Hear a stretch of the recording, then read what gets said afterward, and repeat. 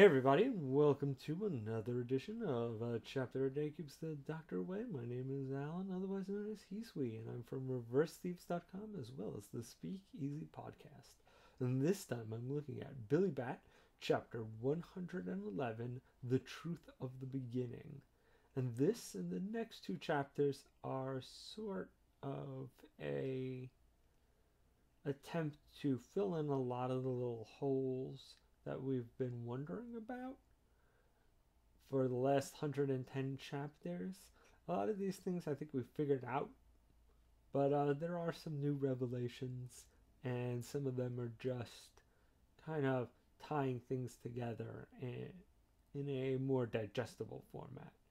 And we start off with kind of the most mundane of the revelations that the fake Chuck Kulnick sees that the original Kevin is going on a trip and he basically tracks down the editor and finds out he's going to Japan and that the editor has no idea really what to do with the comic strip since its creator is basically leaving for an indeterminate amount of time to Japan and you can kind of see the fake Chuck Kulnick, the wheels turning in his head and ideas forming.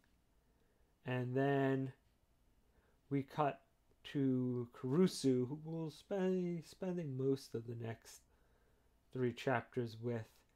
And we find out once again, unsurprisingly, that he was the one behind the murder of uh, the head of the Railroad Commission that kind of started a lot of the story. And, you know, is a famous historical incident. Um, he's, you know, he gets contacted with that bat under the underpass. And we find out that once again he had that fake manuscript and he's looking for the real manuscript.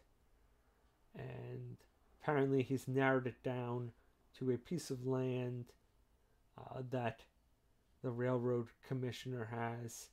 And he's like, Look, people want to kill you. These guys will kill you. And if you give me the land, then what do you call it? I'll give you this list. You can prevent these jobs, find the traitors in your organization. You don't have to die here. Everything's good. Otherwise, I'm going to have to go to the moon, and that's just crazy talk. And apparently, the train commissioner is another person who knows about the whole Billy Bat conspiracy, and he's like, "No way, man! If you're looking for like the bat on the moon or this manuscript, you're clearly one of the bad guys. I'm totally not going to give you this um, land or any other information because you're obviously just a villain trying to bring on the end of the world." And uh, you know, Kurusu doesn't take that that well, and we already know how that turns out, both historically and in the manga, with him getting sliced up by a train. But uh, now at least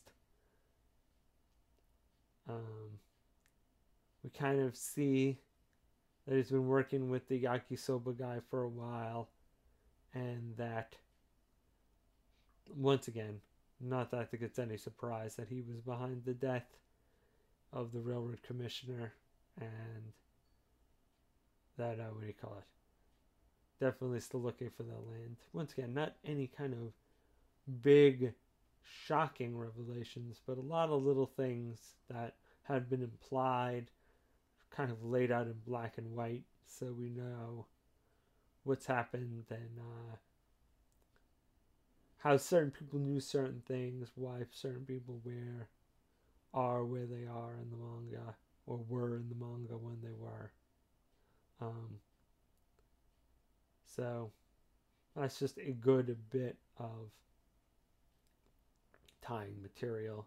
But uh well kind of once again leading into the moon being important, uh, especially in the next two chapters. Not that it was, you know, up to this point we weren't sure that the Billy Bat on the moon was unimportant, but uh obviously, once again, leading breadcrumbs to uh, what was just kind of this oddity that wasn't we weren't exactly sure how it was going to fit into the plot.